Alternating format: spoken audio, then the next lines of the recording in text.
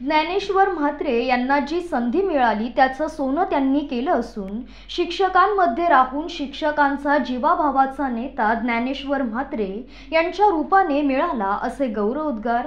भाजपचे मावळ लोकसभा निवडणूक प्रमुख आमदार प्रशांत ठाकूर यांनी डिजिटल ई लर्निंग साहित्यांच्या वाटपावेळी केले. तर आमदार ज्ञानेश्वर म्हात्रे यांनी शिक्षकांचे सर्व प्रश्न सोडवू असा विश्वास व्यक्त केला. कोकण विभाग शिक्षक शिक्षक मतदारसंघाचे आमदार ज्ञानेश्वर म्हात्रे यांच्या स्थानिक विकास कार्यक्रम दोन हजार तेवीस चोवीस अंतर्गत शैक्षणिक साहित्य वाटप कार्यक्रम गुरुवारी जनार्दन भगत शिक्षण प्रसारक संस्थेच्या चांगुकाना ठाकूर महाविद्यालयात संपन्न झाला.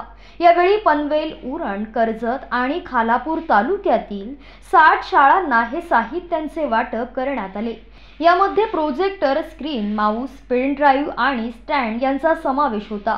या कार्यक्रमावेळी भाजपचे मावळ लोकसभा निवडणूक प्रमुख आमदार प्रशांत ठाकूर शिक्षक आमदार ज्ञानेश्वर म्हात्रे जनार्दन भगत शिक्षण प्रसारक संस्थेचे संचालक संजय भगत विनोद डाके रवींद्र पाटील अरुण पाटोळे विधी पाटील यांच्यासह शिक्षक आणि मान्यवर उपस्थित होते. यावेळी आमदार प्रशांत ठाकूर यांनी आपल्या भाषणात शैक्षणिक साहित्यांचा सुयोग्य वापर करून आपली शाळा अधिकाधिक यशस्वी करण्यासाठी आपले योगदान द्याल अशी अपेक्षा व्यक्त करून आपल्या मदतीसाठी सदैव तत्पर राहील अशी ग्वाही दिली.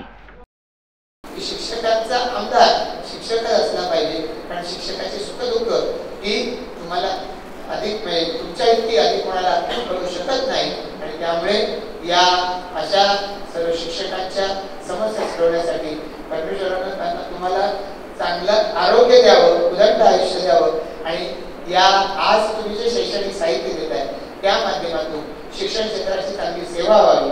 नये नवं शैक्षणिक धोरण हे राबवण्याच्या मध्ये आपण सगळेजण खूप महत्त्वाचे घटक आहात. हे नवं शैक्षणिक धोरण विद्यार्थ्यांच्या जीवनामध्ये क्रांती आणणार आहे. तर विद्यार्थ्यांच्या जीवनात त्याच्यामुळे क्रांती येईल असं ज्या वेळेला एक परिवर्तनाचा काळ सुरू आहे तर त्या परिवर्तनाच्या काळामध्ये सगळ्यात महत्त्वाचे घटक तुम्ही आहात.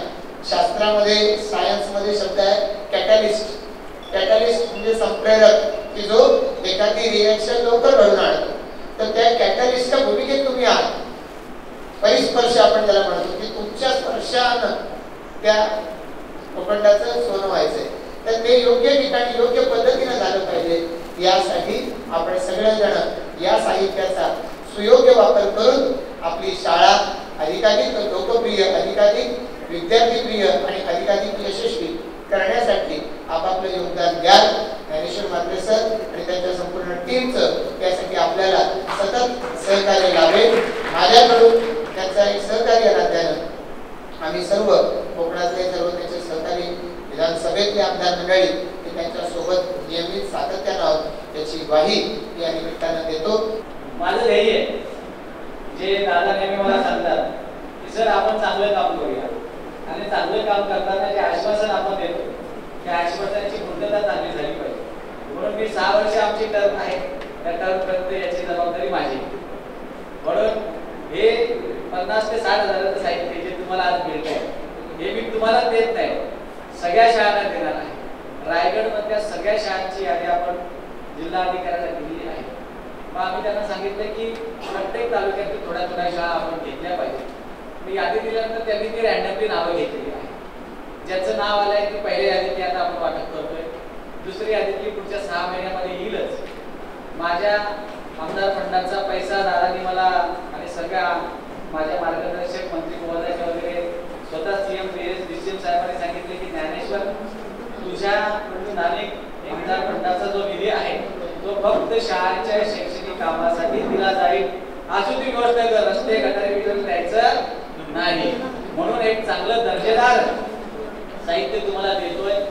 ही वस्तू तुमच्या शाळेत गेल्यानंतर पडून राहणार नाही याची काळजी तुम्ही घ्यायची.